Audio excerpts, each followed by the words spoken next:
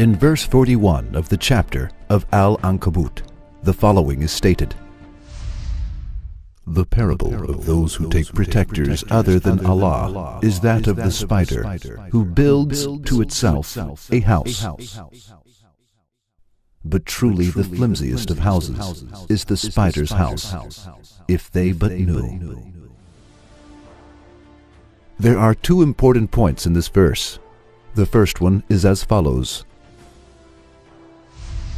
The word of Ankabut in the verse is referred to the female spider. The word of itahazet is the feminine conjugation of the verb that means build for itself. The masculine conjugation of this verb is itahaz. Allah Almighty states that the house of the spider is made by the female spider by using the feminine conjugation of the verb. Here, this indication of femininity expressed by the Quran on this issue exposes another miracle. It is as follows. As a result of the researches on animals, very interesting results on spiders have been reached. One of them is that the house of the spider is made not by the male spider, but the female spider. The result that the science has reached is in complete harmony with the news of the Quran. The Quran states that the house of the spider is made by the female spider, and science approves this and accepts that it is true.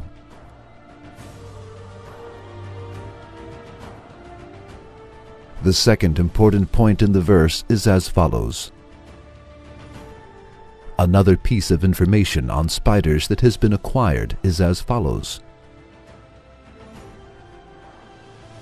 In a large section of animals, males are bigger and stronger than females.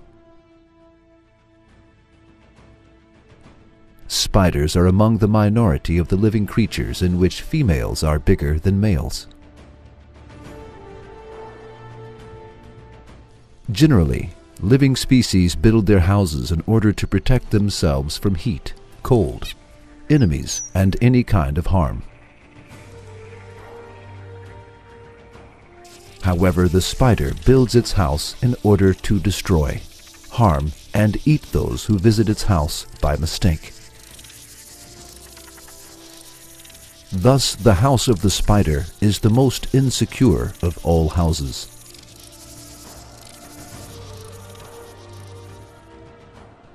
The female spider also eats its male after copulating with it.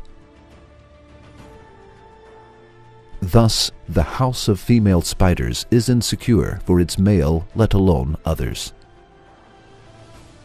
If the male spider cannot be among the successful males who can escape after copulation, the house of its female will become his grave. With the flimsiness of the house of the spider, the Quran intends to express this figurative meaning. So, the Quran reveals another miracle by stating both that the house of the spider is built by its female and that the flimsiest house of all is the house of the spider. The Quran mentions many issues from the expansion of space to the atmosphere of the earth being a protective roof, from the waves under the seas to the seas not mixing with one another,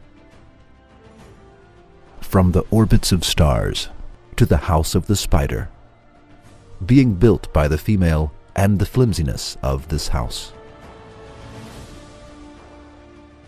The Quran never makes any mistakes in any fields, though it gives information about such different issues. On the contrary, it exhibits miracles that amaze people whose eyes and hearts are not blinded in all fields.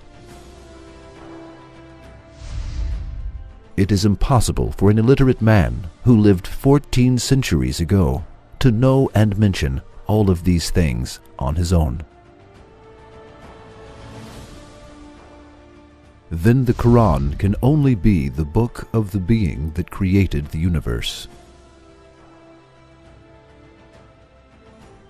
For the Quran miraculously mentions everything that the book of the universe includes, and all of its news turns out to be true.